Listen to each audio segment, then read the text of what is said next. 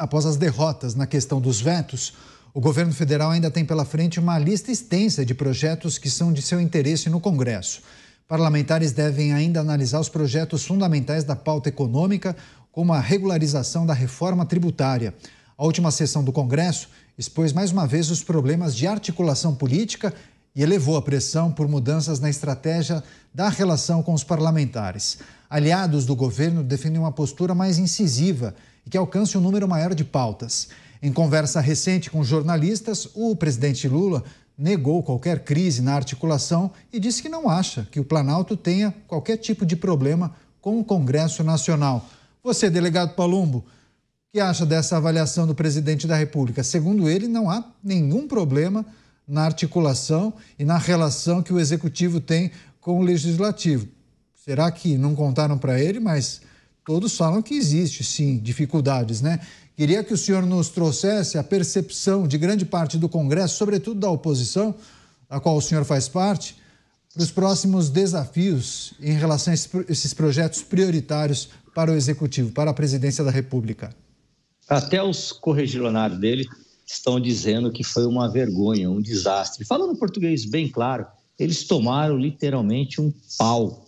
Foi isso que aconteceu nessa última semana vários vetos foram derrubados, ele não está com o Congresso Nacional na, nas suas mãos, ele não está com o Centrão nas suas mãos. Isso só prova aquilo que eu falo há muito tempo.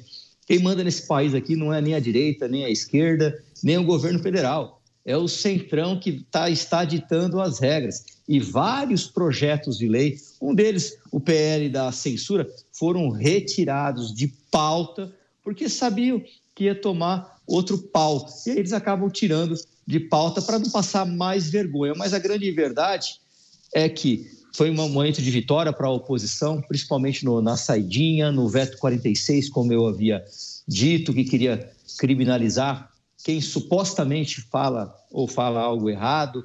Isso é absurdo, né? Isso mostra que a, a oposição está mais viva do que nunca.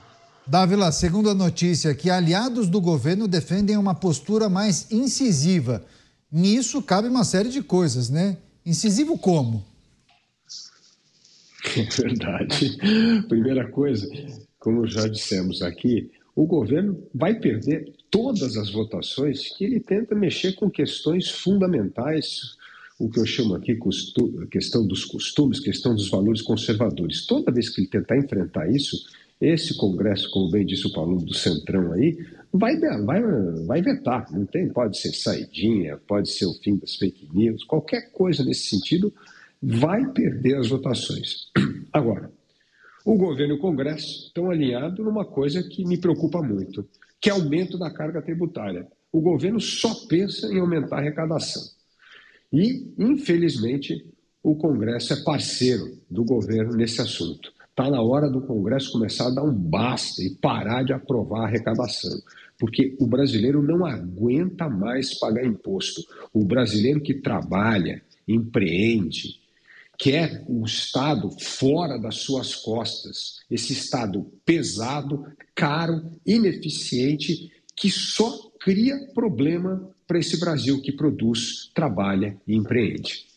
Agora, Mota, por que aquela fórmula das duas primeiras gestões do governo Lula não estão funcionando dessa vez. Aquele chamado de velha política, toma lá da cá, agora não está dando certo.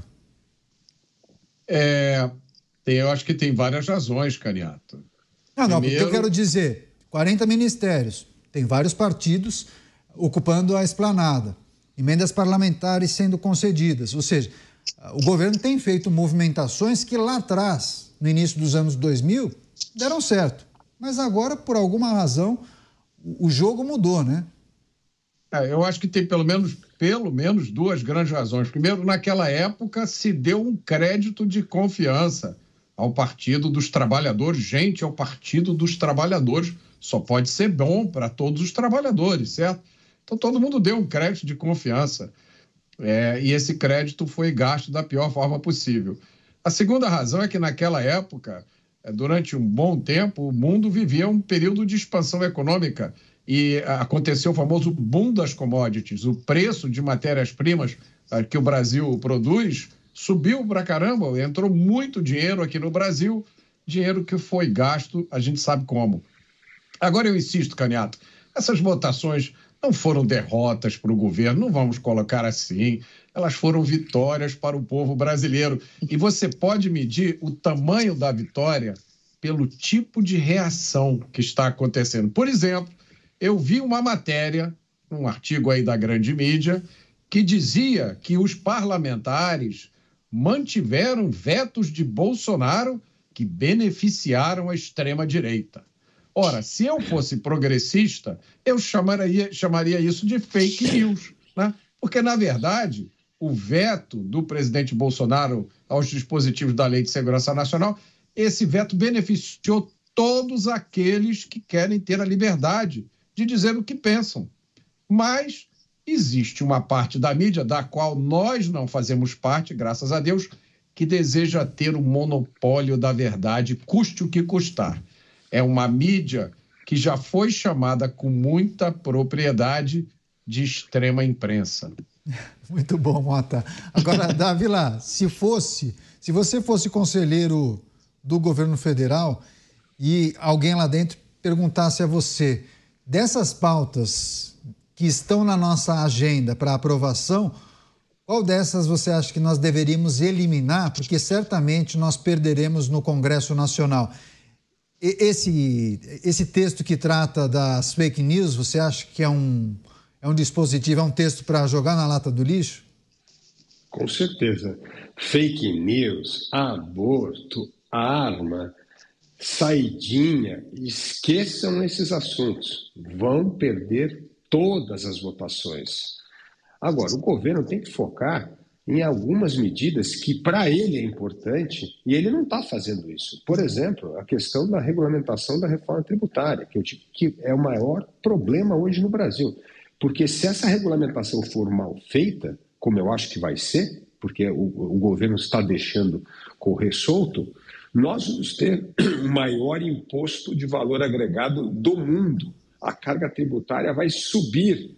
Nós vamos criar mais benefícios para determinados setores. E cada vez que você cria um benefício para o setor, quem paga a conta somos nós. Portanto, o que o governo considera importante é altamente preocupante para a sociedade, porque a sociedade não participa dessa discussão e quem participa são os lobbies organizados. E os lobbies organizados não querem o melhor sistema tributário. Eles querem um sistema tributário que lhes dê benefícios, subsídios que custam caro ao povo brasileiro, como é hoje. Nós temos hoje a carga tributária mais alta dos países emergentes, taxando quase 35% do PIB e serviço público de péssima qualidade. Porque esse dinheiro não vai para melhorar a vida do brasileiro, vai para melhorar a vida do corporativismo, seja ele público ou privado.